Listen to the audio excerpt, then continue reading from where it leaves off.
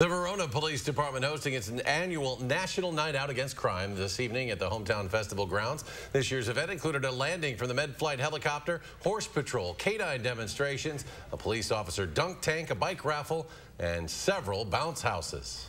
It's our biggest event of the year to bring the police department and the community together in a positive environment uh, to promote uh, collaboration between us and to promote crime prevention.